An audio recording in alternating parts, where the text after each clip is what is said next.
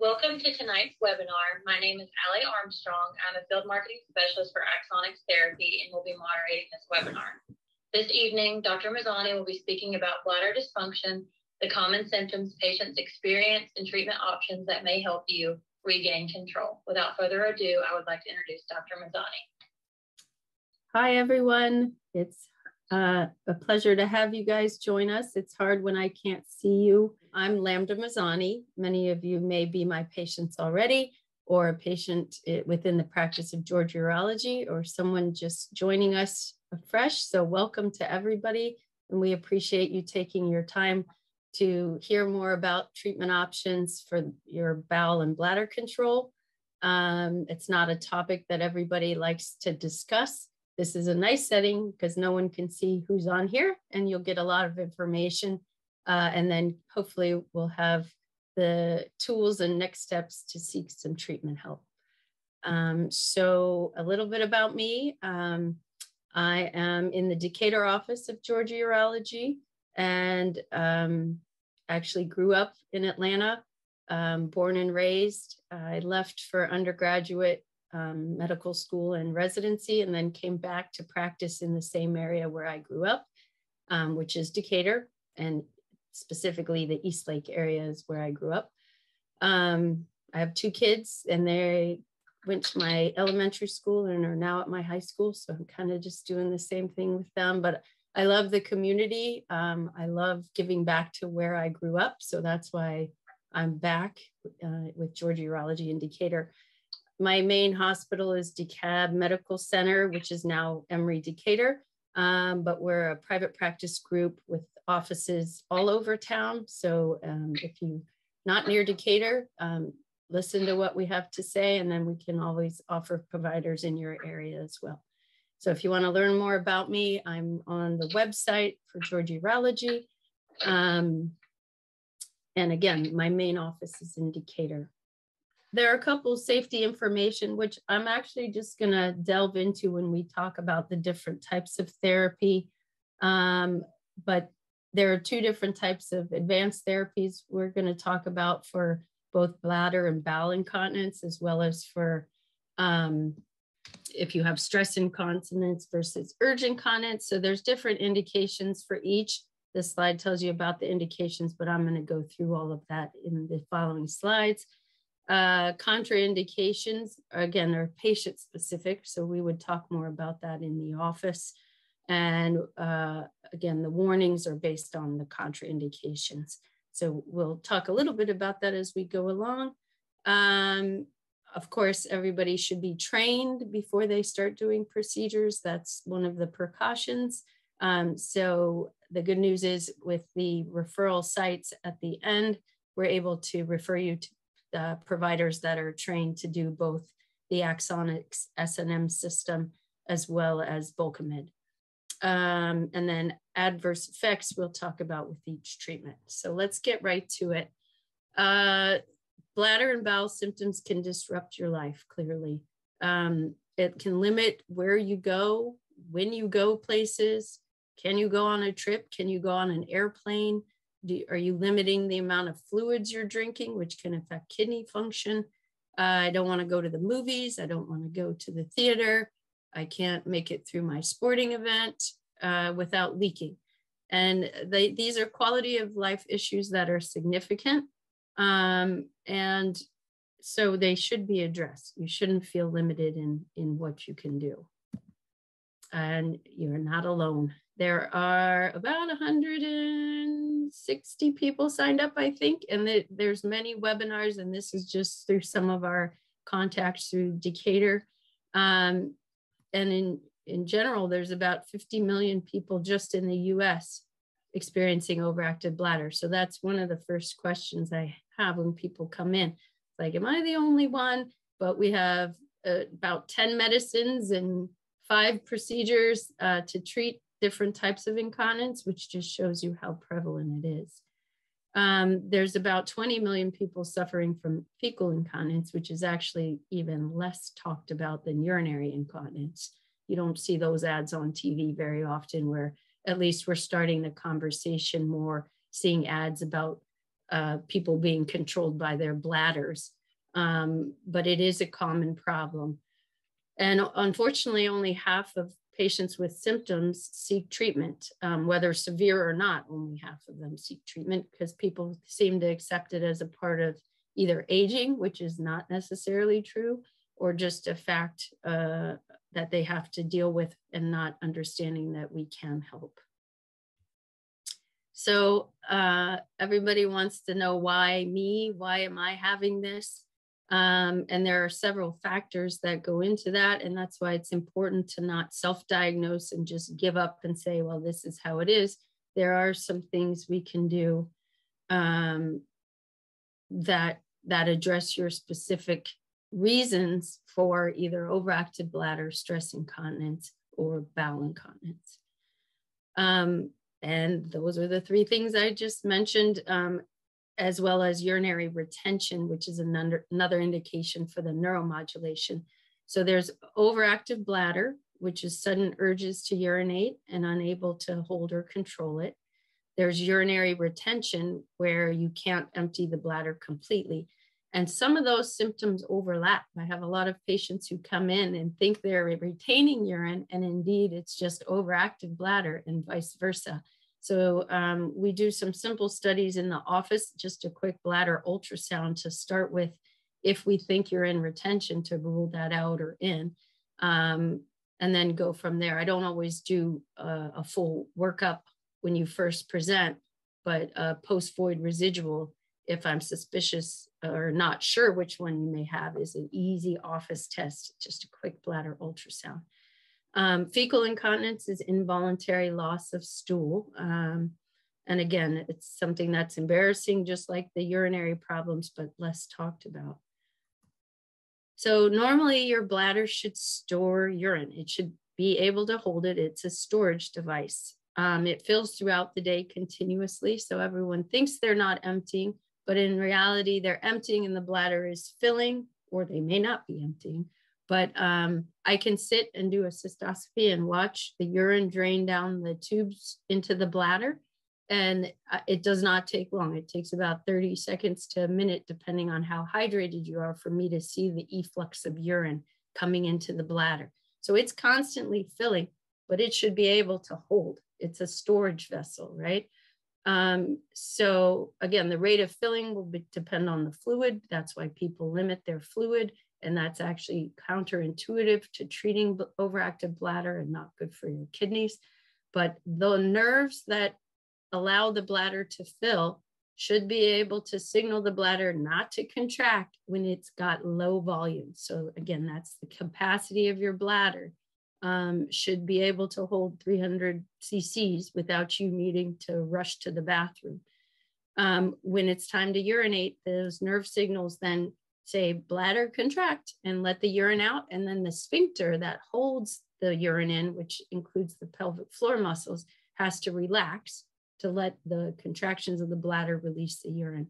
And then there is this picture leaves out this whole neuro connection between the bladder and the brain, and the signals to the brain have to control the bladder also. So it's it's complex as far as the nerve signals um, and, and it leads to the bladder either holding properly or not, or the sphincter releasing properly or not.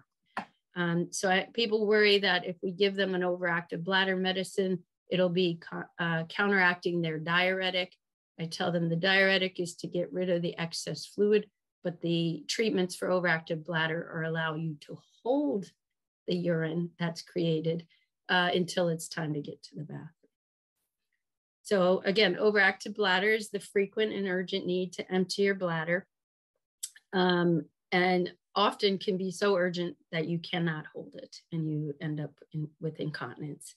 You either have frequency um, defined as eight or more times in a day, urgency where you're sitting there going, I didn't know I have to go, and all of a sudden you have to go. Um, urge incontinence is where you had that urge but didn't make it. And then nocturia is waking up more than twice a night. Um, so we consider waking up once a night, especially if you drink a lot of fluid around bedtime, normal, but two or more times a night we consider nocturia.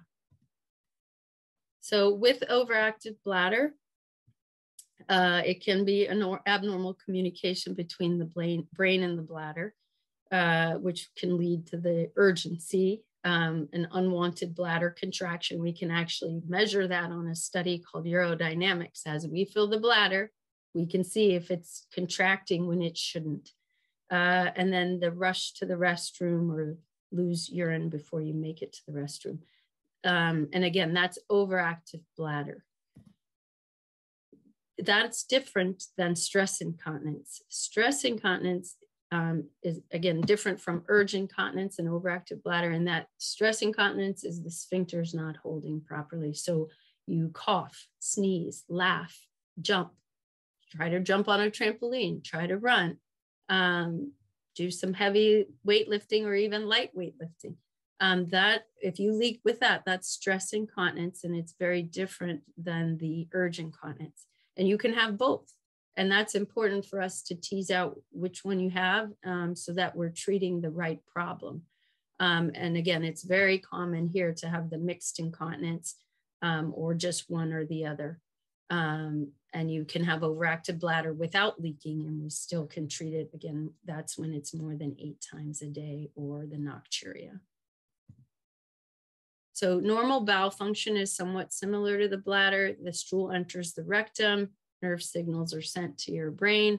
You should be able to hold that. It does require a sphincter around the, the rectum, which are the pelvic floor muscles also, um, to relax, to let the stool come out when the contraction is um, signaled. And if that pathway is not intact or the muscles are not strong enough, you can get bowel incontinence.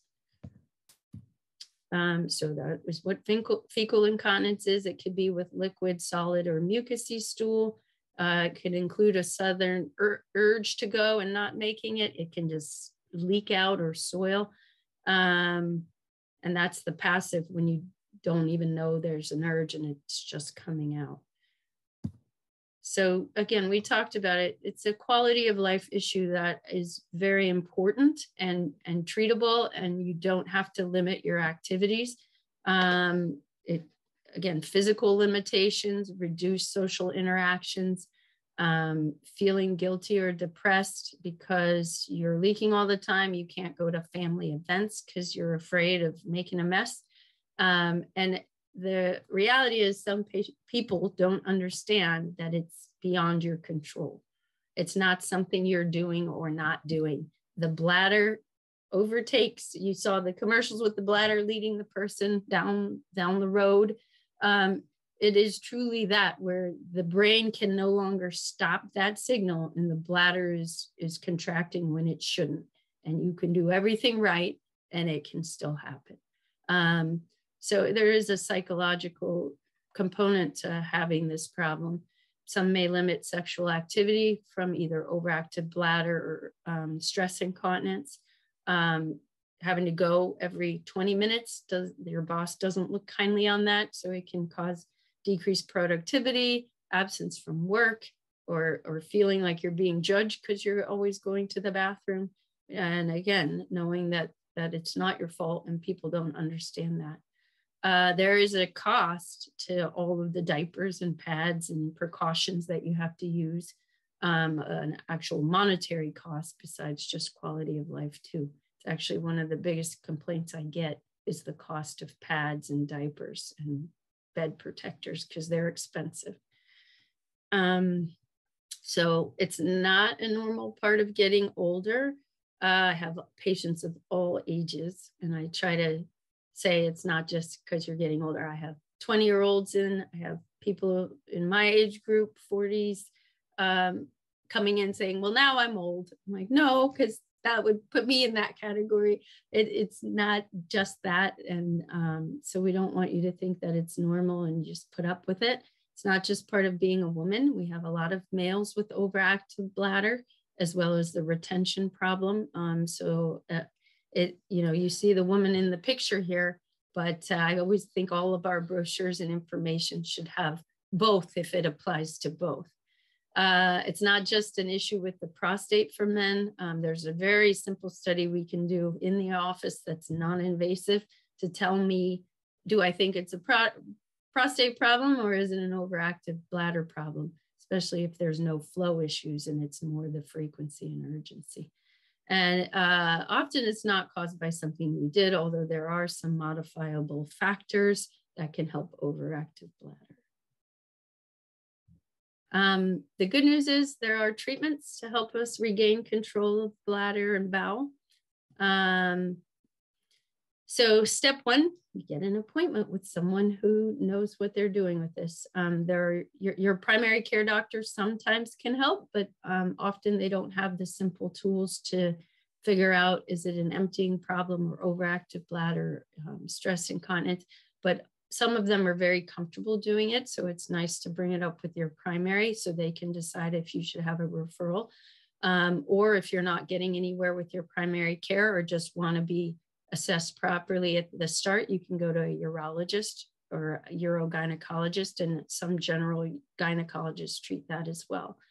Um, a baseline diary is always good. It seems like when I ask, like, well, how often? Is it every two hours? When do you leak? People are like, oh, or what are the triggers? They haven't really delved into that, um, which is fine. We can start thinking about it and offer you some of the things to guide your thought process to help us figure out what's going on. But a diary is always good. Just a couple days is all you need. Um, tests for diagnoses, I do not jump into invasive tests right away. A lot of times we don't need them. A lot of times, just by your history and physical exam, I can figure out what we should start with. And then we can go from there if we're not getting anywhere or we're having side effects. Um, or it's not working, basically, then I start to do some other tests. Um, so you, everybody's worried that we're going to do some invasive probing when you come into the office. And uh, that is not the case. Um, we do not jump right to that. Most people leave feeling relieved that it was either a, definitely a simple exam, but um, and some advice, and then possibly some trials of different things but not straight off invasive tests when we when you come to see us. Um, and then we give some treatment options. So uh, initially, bladder retraining, um, lifestyle changes, overactive bladder is driven by some dietary um, factors like too much caffeine, alcohol, spicy foods and drinks, not enough water. Again, counterintuitive. Everybody wants to limit their water uh, when actually the more um, dilute the urine is, the better the bladder can hold it. If it's really yellow and concentrated, the bladder wants to get rid of it. So limiting fluid is not a good idea. Um, prescription medications definitely can cause it, but we can't always stop those. I have people who don't take their diuretics as their cardiologist wants them to do, um, saying they have to go to the bathroom too much or they don't take it when they go out and um, we've got to figure out a plan. I typically don't stop those medications, but try to work within the realm of what is right with your other medical conditions. Uh, if we're not getting any better, you've got to come back. And I always put a, a couple week follow up or a few months follow up, depending on what we decide, because I want to know that you're better. And patients who come to me two years later, and I said, I said, come back.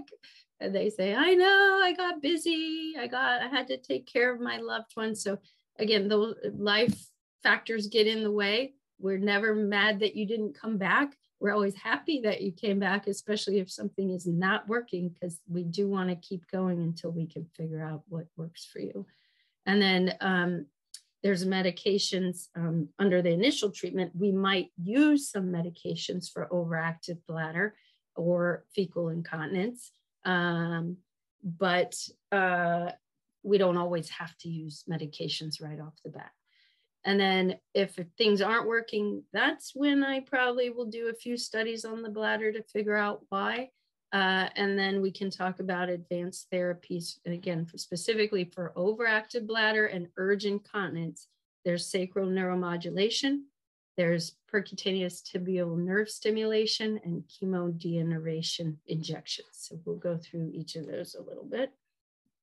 Um, fecal incontinence is the same type of thing. We often do pelvic floor therapy first to try to strengthen those muscles.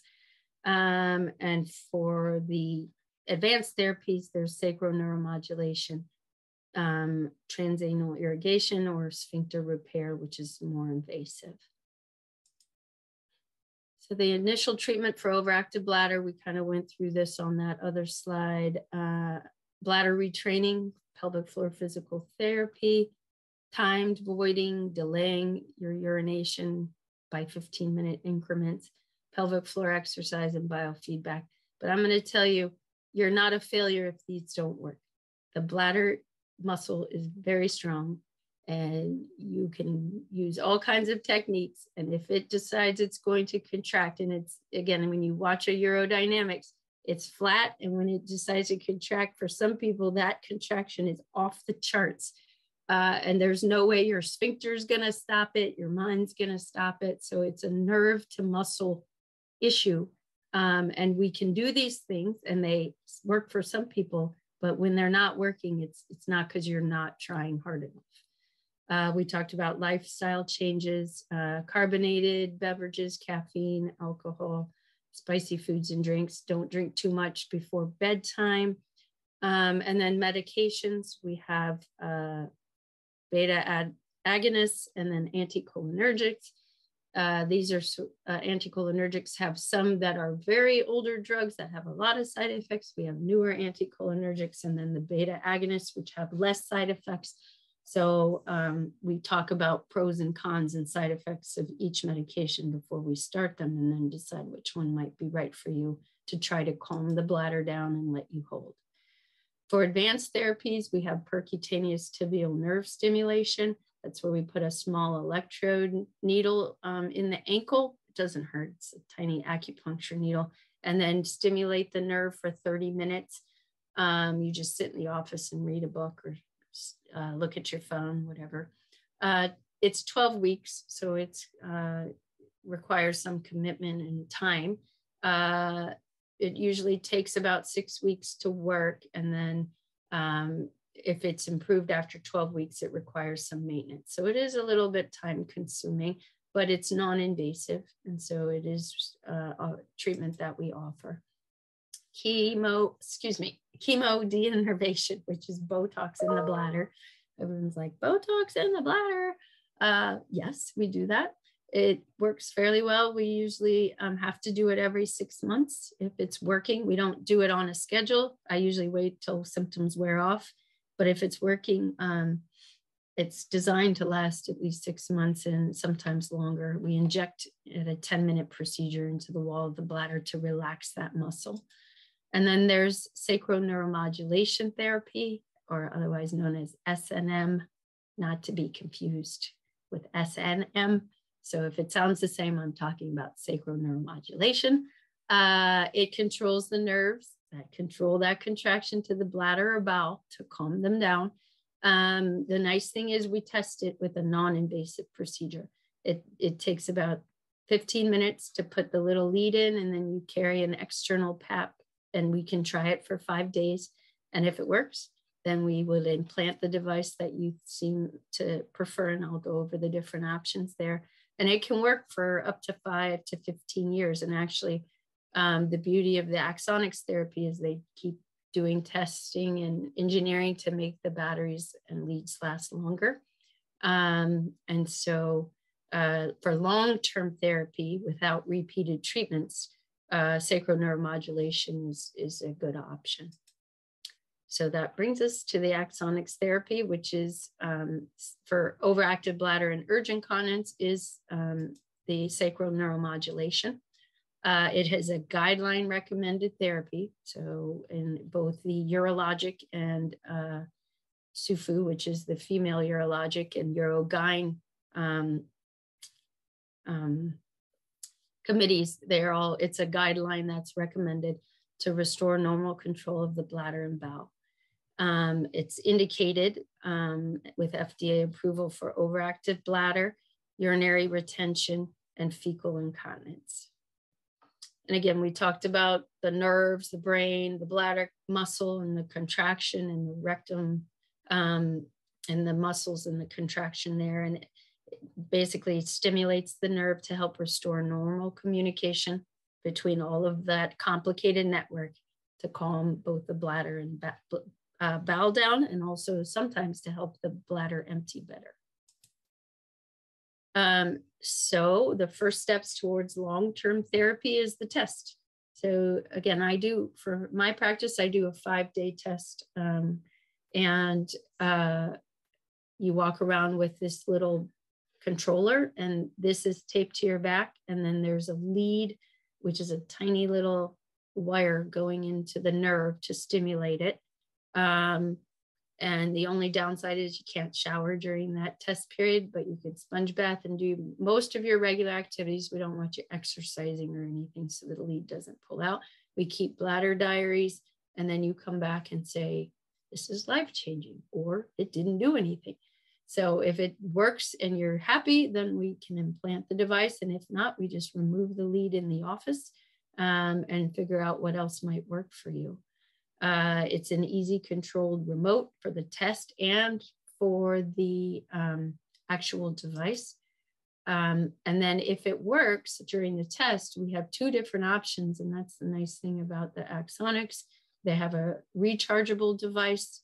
Um, it can last up to 15 years. In the past, the batteries would wear out within a few years, depending on how much stimulation they have to provide. Um, but this you can charge for a month uh, for less than an hour. And you just, it's external, you don't plug yourself in. Uh, it's just this little pad you put on your back and sit there for an hour or so. Um, it's small, so I I have a lot of patients who like that they can't really feel it much under the skin. Um, it's quite small. They'll show it in the next slide. And then there's a recharge free system. And the beauty is, again, I like the Axonic system in that their engineers are working to make it better and last longer um, so that we're not having to redo the battery. Um, 10 to 20 years um, and small, thin design, it's also getting smaller and smaller, um, which is nice because uh, even with the old device, even if you could feel it, it wasn't uncomfortable, but it was there and the smaller device, um, you can feel it under the skin a little bit, but it's not uncomfortable. Um, the controlling systems are the same. And again, this one has the charger and this one doesn't have to be recharged. So the rechargeable, tiny, that's a quarter and that's the device. Uh, minimally invasive outpatient procedure. It takes about 40 minutes to implant everything. Um, we use a light anesthesia. Um, and again, it's designed to last at least 15 years. Again, they're pushing this further and further with the um, the experiments and the engineers working on making a better device at all the time. Uh, also, the devices are MRI compatible. They used to not be, but they are now, which is important. Uh, a lot of Patients who have spine issues, which can affect the nerves to the bladder, need MRIs. Uh, Parkinson's patients, there's all kinds of people with nerve issues that also affect the bladder and would need routine MRIs. So this allows you to have it done.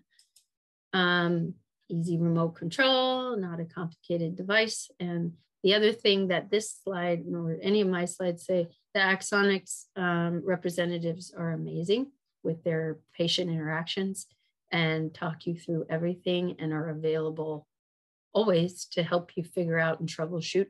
Um, your physician should also be available to help you troubleshoot. Um, but uh, it's nice when you've tried a few things with representatives and then come back and we can see how they're working. Um, so I do like the support that Axonics gives their patients. Um, again, the charging system, we talked about that. It's pretty straightforward. And uh, efficacy, very important. Uh, first, charging is easy. Uh, after two years of therapy, everyone thought it was acceptable and not that hard, but did it work? Uh, sorry, this is the charging. Clinically significant improvements, 93% of patients at two years. Not that they've improved after two years, but they get improvement and it's lasting at least two years. And most patients who have an implanted device uh, don't have to adjust it very often. Once it's working, um, they can just leave it alone. And, and that's the way it's designed to work. Over two years, uh, nine, over 90% of patients were satisfied. Um, and that 93% would undergo the treatment again with the expected results. Um, this is this slide gets me because it's just so fantastic to live a normal life, meaning, you know, you think of it as a nuisance or not that bad, you can deal with it. But when you no longer have that problem and you're no longer leading your life around your bladder and bowel schedule or unschedule leakage problems, uh, it, it's it's amazing uh, to see patients feeling so much better and doing the activities that they have been wanting to do and had to limit. Um, and the implant procedure is, is very straightforward. Um, so that's sacral neuromodulation. If you have questions, please send that over to Allie so she can get that to me.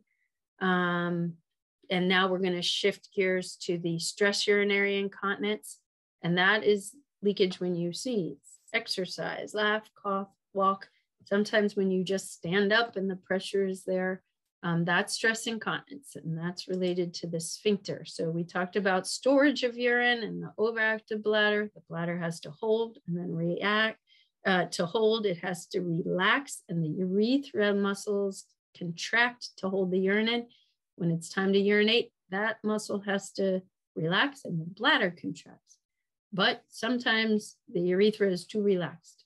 Um, and there's some different factors causing that. And that's the same with bowel incontinence as well. We'll have a slide on that, but it's the same issue. The pelvic floor muscles have to hold during storage and relax only when it's time to empty. Um, so physical activity increases abdominal pressure, and that can cause the leakage if the urethra does not coap tight or close properly, meaning the muscles around there, which form the sphincter, are not strong enough. Um, if they're weakened, leak either with cough, sneeze, laugh. This pretty much going over the same things. We'll skip a few things. Already told you it's a major problem for a lot of people. Um, so you're not alone. One in three women um, and males can have the problem too. Uh, so, you know, and everybody jokes and laughs about it. Oh, I peed my pants when I was playing tennis, uh, but we can help you with that. Um, 60% of women say the symptoms impact their lifestyle. Same type of thing as overactive bladder, and then the economic um, cost of pads. Um, so it's a similar issue with both stress and urgent incontinence. There's treatment options. Uh, pelvic floor exercises are where we start. You can try Kegels on your own. When there's don't seem to be working, we do have specialized physical therapists, and everyone's like, "What are they going to do?" I do my Kegels. Um, they are very helpful. I like. I say it's like having a personal trainer. Uh, I could be working out on my uh, whatever I'm working out on at the time. Uh, I think I'm doing a good job, and then if I go to an exercise class and have a trainer who's uh, they're holding me accountable, the results are better and quicker. Um, I don't have time for any of that, but uh, if it, it, does help, and if you make the time, often you get the results, especially for mild stress incontinence. Um, and then there's procedures we can do. There's urethral bulking agents, which are minimally invasive procedures, and then there's a surgical sling, which is a little more invasive. So we'll go through that um, it, it is an individualized treatment. I had patients who come to me and said, I tried, I tried, I tried. And again, it's not because they're failing, it's because that muscle just is not going to get strong enough. Um, and then we start talking about different options. And often they'll say, Which one do you want me to do? And I'm like, No, no, let me go over pros and cons again because it's not my decision. And then we go over the pros and cons of each again to help them narrow it down. Um, so lifestyle changes, pelvic floor exercises with or without a physical therapist. This is all for stress incontinence now. We're talking about a difference than the urge incontinence, although pelvic floor therapy can help with that. There's a surgery we can do. It's a 30 minute procedure, outpatient under general anesthesia or a spinal. Um, it says here mesh, but we do have other types of slings. We do use mesh a lot. but it's a small piece of mesh. Um, and then there is a um, fascial sling we can do if you don't want mesh. It's the gold standard, uh, 80 to 90% success with 17 year follow up. Um, there are some risks of each procedure, whether non mesh or mesh, and the downtime is about four weeks. Um, and if you are planning on becoming pregnant or weight a big weight loss or any major change in body habitus, we usually say hold off on the sling. Um, and then there's urethral bulking agents. For a long while, we didn't really offer them at the first treatment option because they didn't work very well. Um, I won't name the types we had before, but they often they wouldn't stay in place. They wouldn't provide lasting results in the area of the urethra. And so they just didn't work quite as well. And so it was kind of like doing something that wasn't going to work anyway. So we stopped offering it. Um, we would do it after a sling if we needed a little extra support. Now we have better bulking agents that stay in place and last longer. And so we offer it as a first line treatment option. It's an outpatient procedure. Um, it's 10 minutes. And the beauty is there's no downtime, essentially. Um, back to normal activities, exercising, um, and running around with the kids or grandkids uh, without the downtime of the four weeks for the sling. Uh, and we've got Bulkamid as the um, agent that we're using these days that seems to have a lasting effect, um, minimally invasive. So no mesh, uh, minimally invasive. It's a water-based gel. That's called hydrophilic, if you see that word. Um, that's um, the nice thing is when you inject it, it doesn't leak right back out. It stays in place and provides these cushions around the urethra to bulk it up. Here's a video. Bulkamid can help provide the relief you've been longing for. The short, incision-free procedure typically takes less than 10 minutes. Involves three to four small injections of soft, water-based gel into the wall of the urethra to help prevent urine from leaking out of the bladder during day-to-day activities. It's safe, quick, and most patients can get back to your normal activities almost immediately. 10 minute procedure where we inject into the urethra with some numbing medicine um, and sometimes some nitrous or general uh, quick general anesthesia or uh, monitored anesthesia depending on your um, preference. We bulk up the urethra, make sure you can urinate before you go home, and the next day you're back to normal activities safe and effective. 92% of people who had the procedure reported being cured or improved. Simple. Um, occasionally, we redo the procedure if you get some results, but not thoroughly, but that's not the norm. And long lasting relief, we have data out to seven years. A lot of that is from Europe, where they require you to have um, a bulking agent before a sling just because of their health care. So the data is longer in Europe. Um, but um, it's been in the United States for over two years now. Um, again, it's not right for everybody. If you're leaking eight pads a day, we need to figure out what's going on, manage some overactive bladder and urgent incontinence if we need to, and then consider Bulkamid versus sling. But that's why you need to talk to somebody who does all of the treatments so that they can help guide you to what's going to work and be right for you. Uh, we don't want to implant an InterStim or sacral neuromodulation device for stress incontinence.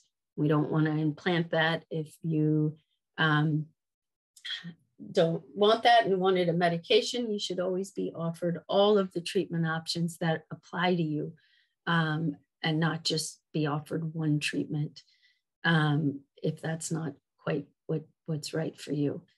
I like choices. Um, and so it's nice to go to a provider who, who has all of the tools that um, may help you.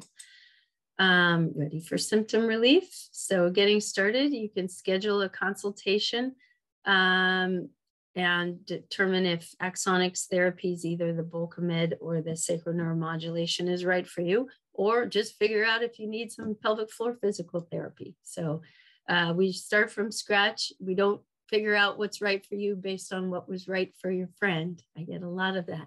This worked for my friend, and I get it. You want a quick fix. Like, let's take a step back and figure out what exactly is your problem, and then we'll help guide you. And maybe your friend's thing will work for you too, or we'll find something simple that's right.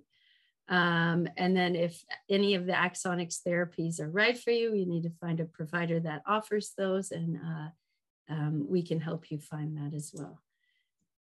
So there is another QR code, or you can go to the website and Allie's going to take over from here. I really appreciate everybody joining in and thank you for your time. Hopefully it was beneficial. It's hard when I can't answer direct questions during the thing, but please make an appointment uh, if you have uh, further questions or want to be evaluated. Don't worry, Dr. Msezane, you're about to be able to answer some questions. Okay. but thank you. It was a pleasure hearing from you and your experience with treating patients suffering from these conditions. Dr. Msezane, what is your opinion of Gemtesa? I have great relief, but the price eliminates it for my regular use. So that is a good question. Um, that I, I like Gemtesa. It's one of the newer agents with less side effects than some of the older agents, less constipation, dry mouth. We don't have any data showing cognitive issues. It is an issue because it's a newer drug, and that's up to the insurance companies. Um, the good news is they get approval from more insurance companies as we go along. Again, Gemtesa is not right for everybody, but if it worked for you and you're having trouble getting it approved, um, they have a website um, that you can go to and see if they can offer you some assistance, especially Medicare patients for drug coverage. And that's for any medication and Medicare patients. There are drug programs. So it does take some little bit of work to figure out if we can get it covered. Um, it does start with you calling your insurance company and or going to the company's web, website for any kind of assistance um, or we may need to switch you to something else if it if it's not covered. But I agree. I hate when patients are like, "Well, I paid three hundred dollars." I'm like, "Oh my gosh, that's crazy! Three hundred dollars a month for a medication. Let's try something else." And if they're not working and it's not covered, let's try potentially one of these alternatives where you don't have to take a medicine every day. That kind of leads into my next question if you're on a medicine and it works, do you have to stay on it for the rest of your life for it to continue working? I have some patients who, after a period of time, they've retrained their bladder and can trial off of it. But I would say 95% of patients, when they go off, they're fine for a month to three months. And they're like, I don't know what happened. I was good. And then I'm like, Are you still on the medication? It's designed to be long-term therapy, why, which is why some of the Axonics or other treatment options, advanced treatment options, are not just when you're failing medications. They're uh, also for when you don't want to take a medication every day, lifelong. But yes, the medication is is probably going to be lifelong if it's working, and sometimes we have to switch it up when it stops working. And does the procedure work if you also have constipation a lot? So no, it is not indicated for constipation. Um, unlike the urinary retention for bladder, where the SNM um, may work, for uh, constipation, it is not indicated. Um, but we can help you with that. You definitely have to work on that. That's a big contributing factor. I meant to say that because it's not on the slide. On behavioral modifications is we've got to get the constipation under control for both urge and uh, overactive bladder. And can OAB come and go? I ask because sometimes you have the urge and can hold it for 30 plus, and other times you have to go and cannot hold it.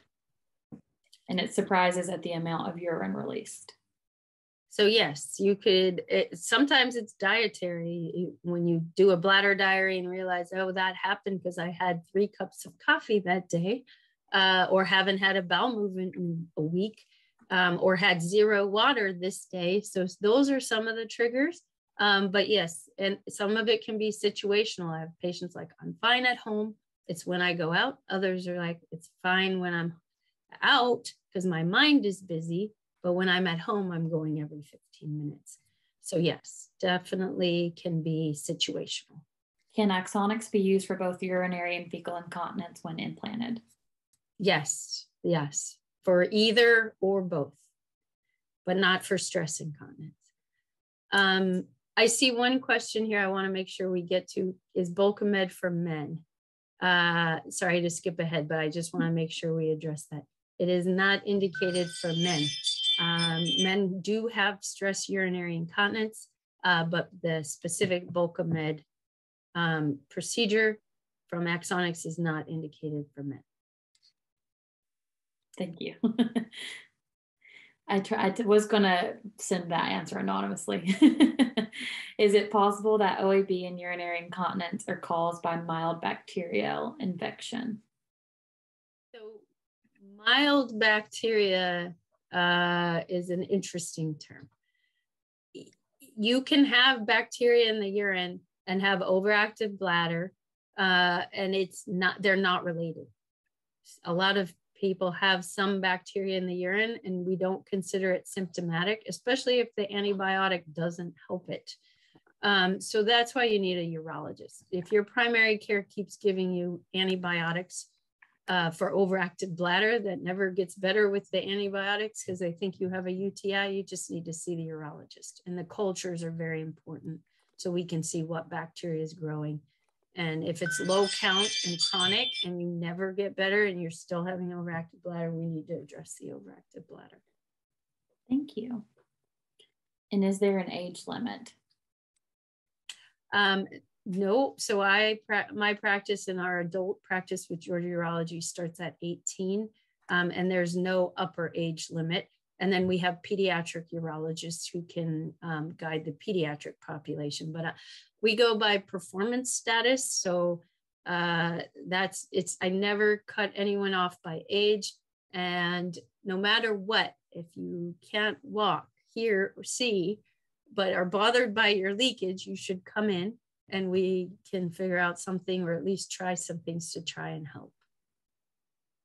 And where is this procedure usually done? Depends on which procedure. Um, some are in the procedure center, which is more like an office center without anesthesia. Um, sometimes we do things under local plus or minus nitrous. And sometimes we do it as an outpatient surgery center where we have a certified anesthesiologist to either make you sleepy or all the way to sleep. Sometimes we do it at the hospital, um, especially if you have a lot of uh, comorbidities or multiple medical problems if we're going to give any type of anesthesia, we do it at the hospital. So we tailor it for you. And is this procedure covered by insurance? Uh, yes, the, yes, the majority of times it is. And unlike all of the medications, which are not all covered, um, I, most of the insurance companies cover the procedure. Um, with the percutaneous tibial nerve stimulation, that one in the ankle, uh, unfortunately, Medicare stops covering it after two years, which is a problem because there is some maintenance therapy there. And if they decide you've reached your two years, then you got to figure out something else. We have kind of a long one, but I'll kind of just brief it. Um, have slings improved over the years, or are they still the same? I think you might can see that one too. Um, so it depends on how many years we're talking about.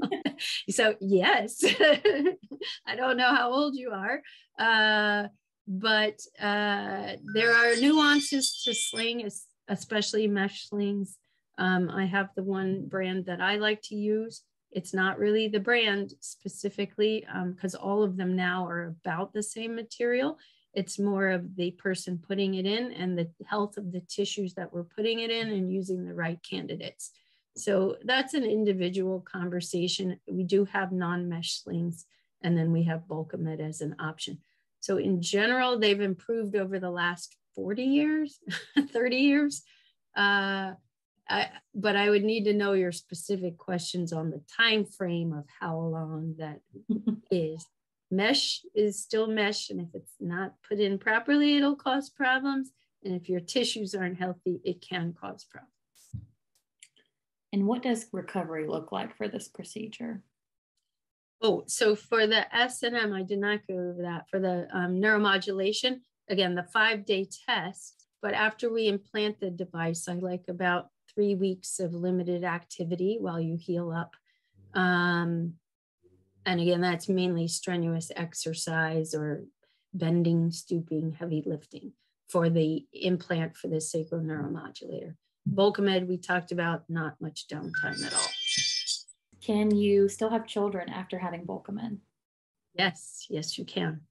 It's it won't interfere in any way, which is nice. And then that brings us to the end of this evening's webinar. If you have any questions or would like to schedule an appointment, we have several ways to help you do so. You can scan the QR code. For those of you who haven't had the pleasure of doing a QR code, it's the easiest way to schedule an appointment. Here's how it works. On your compatible Android phone or tablet, open the built-in camera app, point the camera at the QR code on your screen, tap the banner that appears on your phone or tablet, and you will be directed to our scheduling window. Here you will be asked the reason for your visit, to which you will type webinar slash mailer for access to appointments with Dr. Msezane. You can also visit the Georgia Urology website at www.gaurology.com and click on the orange schedule button. When prompted for the reason for your visit, again, please type in the word webinar slash mailer. Or you can call the office at 404 292 3727. And when you speak to an operator, make sure that you mention attending this webinar event and they will make sure to get you scheduled promptly. Uh, thank you, Dr. Msezane, for your time. We really appreciate it. And I hope everyone has a wonderful evening. Thank you. Thank you to all the participants. I appreciate your time too. Thanks, Allie. Thank you. Bye bye.